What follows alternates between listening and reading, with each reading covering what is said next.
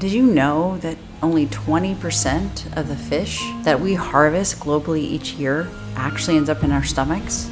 That is a lot of wasted valuable food. So countries throughout the world, they are taking action to get the most out of the fish we harvest. We are here in a modern fish processing plant in Iceland where 4,000 tons of cod and haddock are processed each year.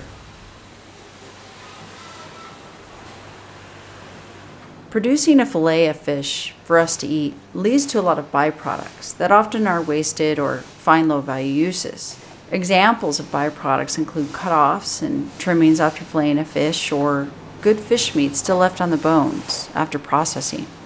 We can make high quality tasty products from these raw materials using proper processing technologies and techniques. One way to do this is to recover the fish meat from the byproducts.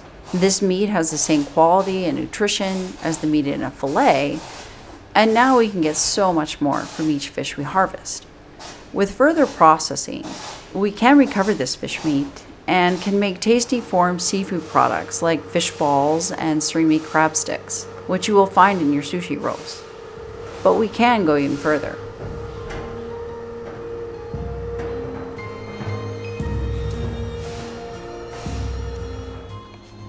This is the future kitchen, where seafood sustainability meets cutting edge technology.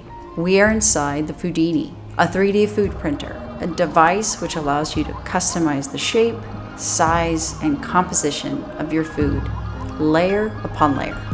Future kitchen tech devices, like the 3D food printer, can help us better utilize our seafood and reduce food waste. Researchers and chefs they are now looking into ways to take these underutilized seafood materials and create novel seafood meals using 3D food printing.